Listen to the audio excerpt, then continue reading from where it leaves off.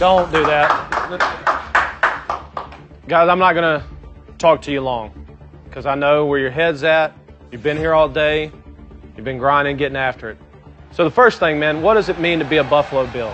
I can't speak to all the guys that have played here the Hall of Fame guys, the guys that went to four straight Super Bowls. You guys have heard of all those guys. I can just tell you what it meant for me and what it means for my family and what this place did for us while we were here. Let's keep grinding, baby. Let's keep grinding. Go, you guys like it. Oh!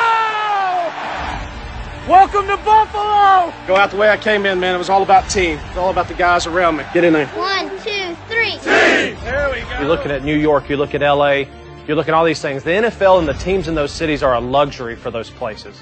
They're a place you take clients and you go burn a Sunday. But here in Buffalo, you play for this team, you play in this city, it's a requirement, man. It's a, it's a way of life for these people. These people identify with this football team unlike anybody or any fan base in the league. They love this place. This is the heartbeat of this community. It is not a luxury. It is a way of life. And whether you like it or not, you are in the middle of it now. The people here revere toughness, grit, effort, the things that can make the hallmark of a career. So when you display those traits in front of this community and this town, it will open up for you, man.